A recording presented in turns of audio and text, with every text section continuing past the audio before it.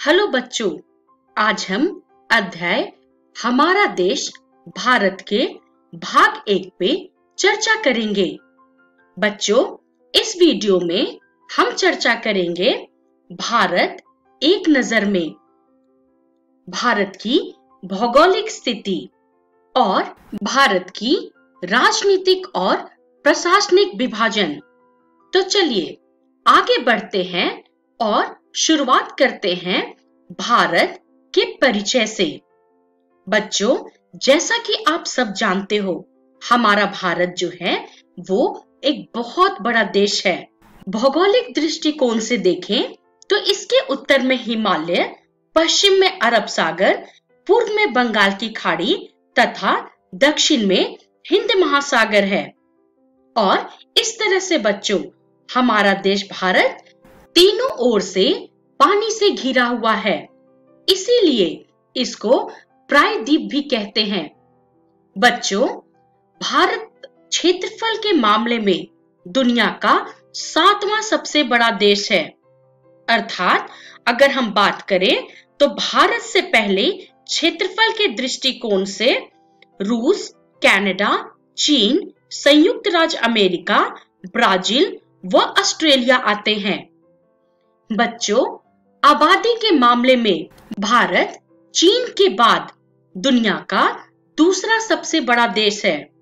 बच्चों, सन 2011 में इसकी आबादी 121 करोड़ थी। बच्चों, सन 2019 के अनुसार भारत की जनसंख्या लगभग 138 करोड़ थी।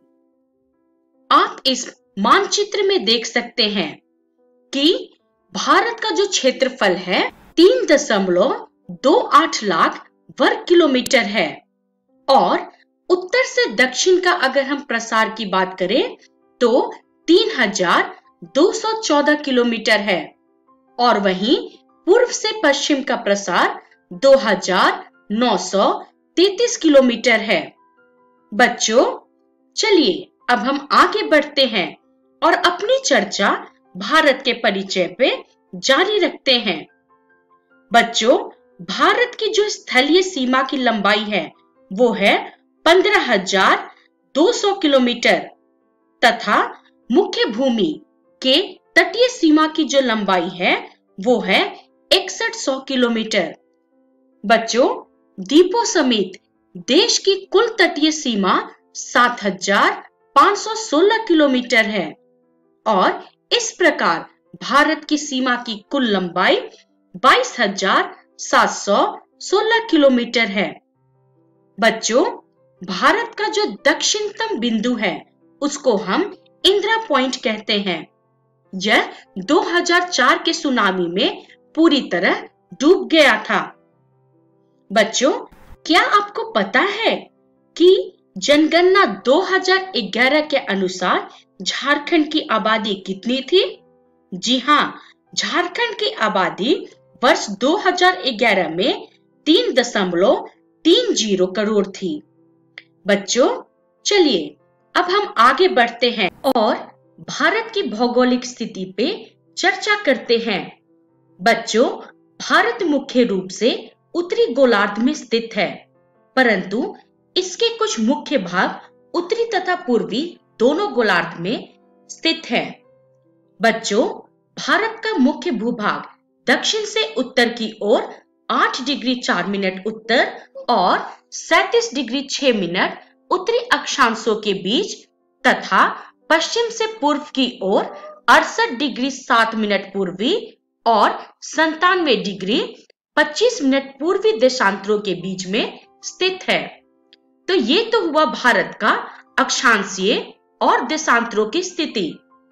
बच्चों, भारत के मध्य से कर्क रेखा होके गुजरती है। यह रेखा गुजरात, राजस्थान, मध्य प्रदेश, छत्तीसगढ़, झारखंड, पश्चिम बंगाल, त्रिपुरा तथा मिजोरम जैसे राज्यों को क्रॉस करती है। आप इस मानचित्र में भारत की अक्षांशीय तथा देशांतरी स्थिति को देख सकते हैं। चलिए, अब हम आगे बढ़ते हैं। आगे बढ़ते हुए हम अपनी चर्चा भारत की भौगोलिक स्थिति को जारी रखते हैं और अब हम चर्चा करेंगे भारतीय मानक समय। बच्चों, भारत का जो देशांतरीय प्रसार है, वो उनतीस डिग्री है, जो कि काफ़ी बड़ा है। और यही वजह है कि यहाँ के स्थानीय समय में बड़ा अंतर हो सकता है। जैसे कि अरुणाचल में सूर्योदय होने के दो घंटे के बाद गुजरात में सूर्योदय होता है, अर्थात जहाँ पे लगभग दो घंटों का अंतर होता है। बच्चों, चीज़ों को सरल रखने के लिए भारत के मानक समय को बिरासी डिग्री 30 मिनट पूर्वी देशांतर के अनुसार निर्धारित किया गया है और इस देशांतर को भारत का मानक याम्योत्तर या मानक देशांतर कहते हैं। तो चलिए, अब हम आगे बढ़ते हैं और अपनी चर्चा भारत की भौगोलिक स्थिति को जारी रखते हैं। बच्चों, अब हम बात करेंगे भारत के पड़ोसी देश पे। बच्चों, भारत के स्थलीय सीमाओं से कुल सात देशों का जुड़ाव है। या कहें तो भारत के साथ सात देशों की सीमाएँ जुड़ी हुई हैं। बच्चों, ये पड़ोसी देश भारत के विकास और आर्थिक क्रियाकलापों में सहयोगी होते हैं चलिए, आप इस मानचित्र को देखिए और अब हम ये डिस्कस करते हैं कि भारत के पश्चिम में अफ़गानिस्तान और पाकिस्तान है और उत्तर में देखें तो चीन, नेपाल और भूटान है बच्चों, भारत के पूर्व में बांग्लादेश और म्यांमार है, जैसा कि आप इस मानचित्र में देख सकते हैं और वहीं पे भारत के दक्षिण में श्रीलंका और मालदीप हैं।